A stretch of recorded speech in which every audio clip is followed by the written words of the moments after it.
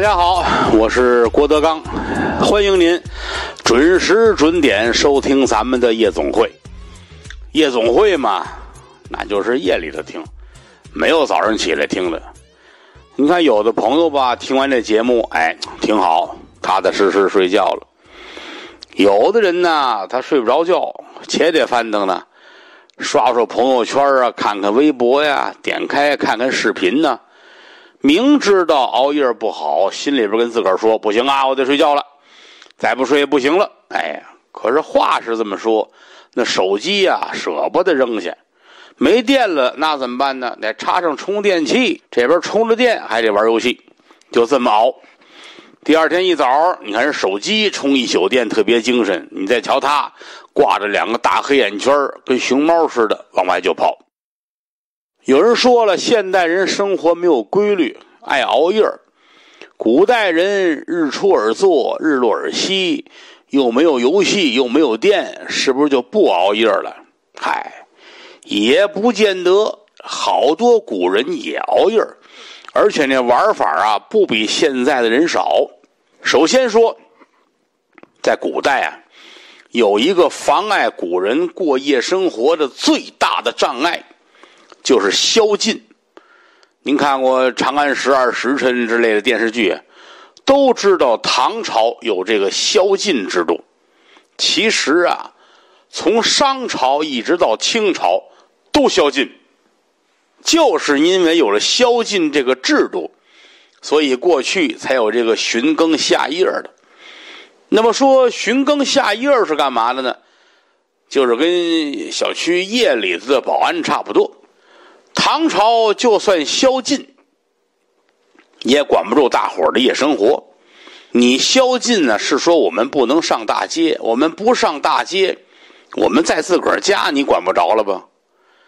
有人说这么说有证据吗？您都背过唐诗啊？你看李白有一首诗，第一句“南湖秋月白”，这是夜里头，王宰夜相邀。上我们家请我去了，请我干嘛呢？锦帐郎官醉，罗衣舞女娇。请我喝酒，还有美女跳舞。啊，当时还有的是不说了吗？便请玉容歌白雪，高烧红蜡照朱衣。大红的蜡在那儿点着，这肯定不是早上起来吧？便请玉容。歌白雪，白雪，这这先秦古代的高雅音乐，阳春白雪嘛。搁这儿就是流行歌曲，就是大半夜找一帮女同学一块唱 KTV。你们大街上怎么宵禁，那是你们的事儿。反正我们就是来刷夜，而且呢，就算是大街上再怎么宵禁，也有人愿意夜里头出来玩别的不说，古代他专门也有这个不宵禁的日子，哪天呢？您记住了，元宵节。有人说不是春节吗？年三十得熬夜，那是现在。过去啊，这个过年反正也热闹，但是正儿八经的嘛，通宵达旦热闹的是元宵节。您看《红楼梦》啊，第五十三回。荣国府元宵开夜宴，那不是说的很清楚吗？到腊月二十九这天，啊，宁荣两府门神对联挂牌全得换，里里外外到处点这大红蜡烛，照的是亮如白昼。但是睡觉不睡觉呢？那还是睡觉的。啊，等到了大年三十这天的白天，有诰命的呢，先进宫去朝贺，然后回来祭祖。折腾一通之后呢，晚上回来家里边行家礼，吃年夜饭，给压岁钱。这一大堆乱七八糟事之后，贾母更衣了，实际上就是睡觉了。转天早上起来刷牙洗脸，哎，大饼卷油条、豆浆茶鸡蛋吃完了，还得往宫里边跑，再朝贺一遍。而且他们家那个大小姐元春呐，是大年初一的生日。还得找着元春送个蛋糕，哎，祝你生日快乐，得唱两句打这儿起，一连七八天，连看戏带喝酒。但是都没怎么具体的写如何熬夜。一直到元宵节这天，贾母高兴了，来吧，咱们都热闹热闹吧。好，这一热闹可厉害了，这一宿先唱戏，从外边请班子唱，唱什么呢？这个通行本里边说的是八义关灯，八义就是八义记啊，就是赵氏孤儿嘛。哎，干嘛演这个呢？他是因为有这个关灯这几处。说的是赵盾的儿子啊，赵朔陪着这个晋国的公主元宵节关灯的事和眼前这个元宵节哎正应景儿挺好。可是赵家后来怎么样呢？赵家不全完了吗？就剩一个孤儿吗？《红楼梦》里选这个戏，其实它是有深意的。等唱完戏了，哎，又找来这么两位女先生说书，俩女先生上来就说：“说我们这是残唐五代的故事。”名字叫凤求鸾呢，说这个有一位乡绅，金陵人士，姓王，叫王忠，膝下有一位公子啊，名叫王熙凤。说到这儿，大伙儿就全乐了。再往后听呢，也就是什么《西厢记》呀、《墙头马上》啊，就这类的故事。贾母说：“行了吧，就你们这些书啊，全是一个路子。大家闺秀挺好的闺女，文文静静挺好。”只要看见一个清俊的男子，就忍不住了，就想嫁人了。后边呢，就是私定终身了。就这故事都是假的，别说了。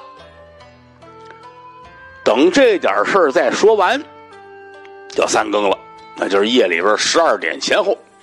这回呢，贾母呢让自个儿家养的戏班子出来唱戏。刚才呀，这个看了一出八义，老太太不喜欢。啊，那话说的嘛。才刚这个八出八义呀，闹得我头疼。咱们清淡些好，唱什么呢？《牡丹亭》啊，这一整出没别的事牡丹亭》嘛，寻梦啊，就是杜丽娘一个人在那儿抱怨，怎么怎么不高兴啦，怎么怎么不幸福啦，如何如何的别扭，我怎么抑郁了？唱这个，这唱完了，再来一出《惠明下书》。《惠明下书》就是《西厢记》里啊。张生啊，打外边搬请这个白马将军杜阙的故事，这两出戏连起来啊，什么意思呢？第一，想嫁人就嫁人，那个没门第二，就是想娶，那是有条件的，没那么容易。说穿了吧，甭管想嫁还是想娶，都便宜不了啊，就是这意思。刚才那个八义还有女仙说那故事，通通不算。就这还不算完呢，两出戏完了，还得击鼓传花，传花传到贾母的手里边贾母刚才教育完这些个公子小姐，还得教育儿媳妇啊、孙子媳妇啊。又来一笑话，说一家啊十个儿媳妇啊，第十个儿媳妇嘴巧，为什么呢？因为他吃过孙悟空的尿，这也没明说。反正老太太一说完，啊，王熙凤就接茬了哟。得亏我们嘴笨，要不都成了吃猴尿的了。这一熬就熬到了四更多了，四更是凌晨夜里一点到三点，四更多那就是三点多。贾母又跟着大伙一块放炮仗，又喝了点粥，这才睡觉。这一宿给老太太累的可是不善。从正月十八以后，天天有人来串门，贾母一概不见。不过，大多数的人呐，那不可能跟贾府似的那么热闹。人家是什么人家啊？对不对？人家饭桌上的讥讽，那普通老百姓听不懂啊。所以，大部分人就是傻热闹、傻乐。辛弃疾不是写过吗？东风夜放花千树，另外还这个一夜鱼龙舞啊。大街上这么热闹吧，你有的人偏不去。人群里边找他千百度找不着，仔细一看啊，那人在灯火阑珊处啊。当然了，那宋辛弃疾宋朝人嘛，宋朝人就不跟唐朝似的了，谁还管你宵禁不宵禁呢？你没看《水浒传》吗？啊，一回大闹大名府，一回大闹东京，都是元宵节那天。其实啊，就算不是元宵节，宋朝人的晚上也闲不住。首先是彻夜聊天儿咱们知道现在好多大学生也这样，一到夜里边不睡觉啊，卧谈会。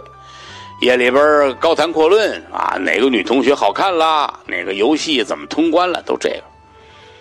宋朝也有卧谈会，宋太宗的时候有这么一个大官叫赵昌言，历史名人嘛。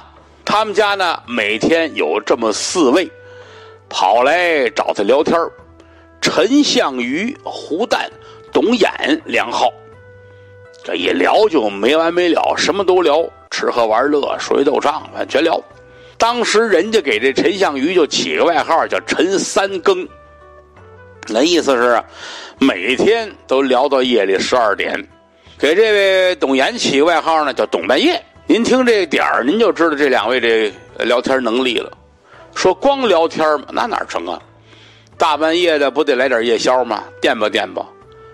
宋朝，呃，咱们以前说过，饮食业发达，当时满大街各种吃的不但多，而且还能叫外卖。你要是没有那么懒，愿意上街溜达溜达，还有好多好吃的。你看写的什么盘兔啦，哎，猪皮肉啦，哎，野鸭肉啊，夏天各种的冷饮甜点啊，什么冰雪冷圆子、水晶饺、冰雪甘草汤、荔枝糕啊，它甭管是什么，你听这些名儿就知道好吃。宋朝的夜市那是特别发达，当时有句话。夜市之境三更尽，却才五更复开张。夜市开到夜里十二点了，到早上鸡打鸣又来了。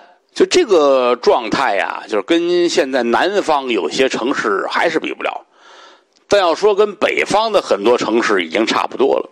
到南宋的时候，夜市能够一直延续到夜里四更，就是三点多了的呀。当时啊，有记载在临安。哪条大街要是办夜市，大街上专门有车担，就跟咱们今天大牌的车似的，设置各种的服铺，就相当于今天的流动商铺，还免费的发茶汤，估计就是像什么大碗茶吧，就逛夜市是免费喝。夜市上那些个大一点的固定商铺，咱就不用说了，咱就说小买卖啊。首先。有文化夜市卖书籍、图画，当时还有一个特别有意思的不成文的规矩：来到临安上班的那些官儿，他不是来自四面八方吗？谁来到临安，都得带点家乡的土特产。最普遍的就是带来各地的香药。那带到临安之后，这官儿他不能自个儿摆摊卖去，不像话，就得找人啊赶夜市代卖。夜市呢，还丰富了一路人，就是艺人，什么说书的、说相声的。当然了，宋朝没有相声，也没有今天这个艺的评书，但是有类似的艺术形式啊。你这么多闲人满街串，他能不养艺人吗？所以夜市里边勾栏瓦舍，非常的热闹。当时呢，有表演武炫的，有扮演神鬼的，有讲史的。有说浑话的，这些个就跟今天的曲艺场子很像。除了这些个，还有些个，你比如说蹴鞠表演，蹴鞠就是踢球啊。还有什么动物表演、皮影戏啊，变戏法的。最刺激的就是女子相扑。相扑咱们都知道哈，日本有这个俩大胖子，光着膀子，穿一兜裆布，脑袋缠好了，你推我，我推你。其实相扑是中国传到日本去的。宋朝啊，相扑是比较发达。你看《水浒传》里边，燕青、浪子燕青、小乙哥专门玩这个，啊，小厮扑天下第一嘛。这个女子相扑穿什么也没有记载啊，反正你估计他不能穿的里三层外三层，三个棉袄捆一块那相扑不了啊。所以那个场面估计也挺好看。据说宋仁宗。有一回微服出访，大街上溜达，正好看见一个女子相扑的，站那儿就挪不动了，啊，跟着一块出来的人还劝呢：“陛下，陛下，哎，差不多了，您那嘿。”宋仁宗也不理他这茬，啊，抻着脖子垫着脚接茬往里边看，看完之后，皇上挺兴奋啊，赏赏赏。当然了，说了半天，古人熬夜他玩的最大乐子是什么呢？您记住了，喝酒，平常一说书，一说哪朝哪代哪一位皇上不学好，沉迷酒色，就老爱说他通宵宴饮，就是没白天没黑夜的喝。这还真不是胡编。最早在《诗经》里边，您就能看见，《诗经》里边有一篇叫《湛露》，湛蓝的天，那个湛，露水的露，什么意思呢？喝了一宿，喝了天亮，早上出了这个露珠了。最著名的一个夜里喝酒的例子，《韩熙载夜宴图》啊。稍微知道一点中国美术的人呐，哎，都应该知道这幅画。韩熙载是个人名字，唐朝的时候当过进士，后来五代的时候避祸，跑到南唐当官去。这个人有能耐呀，说学逗唱全会，志向远大，想恢复中原，而且心高气傲。逮谁瞧不起谁，后来呀，南唐后主李煜继位，当时威胁南唐的就是后周，啊，你想你你这唐你也干不过人那碗粥啊，是吧？所以李煜一直是求和，对自己手底下的官儿很猜忌，尤其韩熙载，啊，这种打北方跑到这儿来，这天天的呀，斜着眼盯着手电筒照着，生怕这帮人弄出点什么幺蛾子。是不是要反抗我呀？是不是要废了我呀？他老这么想，宁可亡于敌，不可亡于臣。所以您琢磨，韩熙载那样的人，那个脾气，能跟李煜合得来吗？所以天天家里喝酒啊，天天夜里聚。至于这个《韩熙载夜宴图》，您上百度上查一下，作者是大画家顾闳中。这位不止一次潜伏到韩熙载的家里去，干嘛呢？就是看看韩熙载跟北方人还有没有联系。每天晚上是不是老轰趴呀？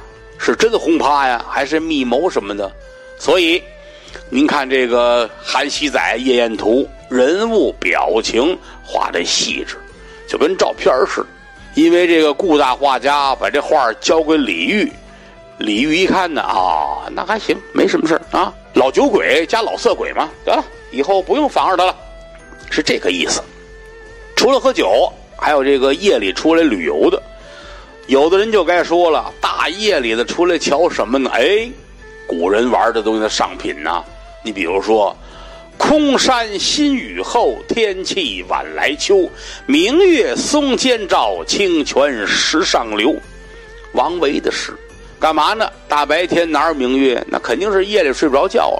另外，据说白居易经常出来夜游，尤其是爱往寺庙里跑。唐朝里边还有这么一个状元，姓施，叫施坚屋。这位也写过一诗：“半夜寻幽上四明。”四明那就是四明山呢，在浙江。他后边写的是。手攀松桂触云行，山太高了，大半夜里边啊，道又不好走，哎，扯着沿路的松树啊、桂树啊往前走，就如同在夜里头似的，啊，相呼已到无人境，一块来的哥几个一块嘀咕啊，哟，咱们这是到哪儿了？嗯，怎么这么慌啊？是不是已经到了没人到过的地儿呢？是这意思，正美着呢啊！说何处玉箫吹一声？就这么会儿功夫，听见有人吹箫啊！这不能是猴吧？他得是人吹的吧？整首诗的意境特别好。干嘛夜里跑出来旅游呢？啊，山里没有宵禁呢。还有一种躲宵禁的办法，就是泛舟。古人干嘛那么爱泛舟啊？躲宵禁。你看这个琵琶行。夜里边这个船上哈，跟这咣咣的弹琵琶，有人管吗？对吧？哎，大半夜的江上不许弹琵琶，不像话，没人拦着，爱怎么弹怎么弹。唐朝甚至江上有大船专门过夜生活的，大彩船花枝招展，这一宿吹拉弹唱，没人管。杜甫就写嘛：“清江白日落玉尽，复携美人登彩舟。”江上马上夕阳西下，陪着美人我们上船了，是这意思。最牛的一次夜里泛舟是苏东坡的事儿，啊，那个赤壁吗？这个大苏泛赤壁，苏轼他爸爸苏洵，他弟弟苏辙，三苏啊，其中他爸爸叫老苏，苏轼是大苏，苏辙小苏啊。苏东坡跟哥们儿啊一块儿呢，两次在赤壁啊，当然是文赤壁啊。大江上泛舟游览，写了两首赋，前赤壁赋，后赤壁赋。时间这个太长，就不给您念了。您各位这个上网搜搜吧，文采很棒。说到这儿，有人就说了：“说这个说的挺好，特别想熬夜，可就怕一夜熬夜黑眼圈。你看，古代啊想的周到，熬夜黑眼圈，找一鸡蛋煮熟了，闭上眼，趁着鸡蛋热乎，拿纱布一裹，慢慢的在眼圈这滚，啊，一滚之后呢，一会儿就好多了啊。然后有人说这滚完之后要不好呢，列位，你把鸡蛋吃了就得了。”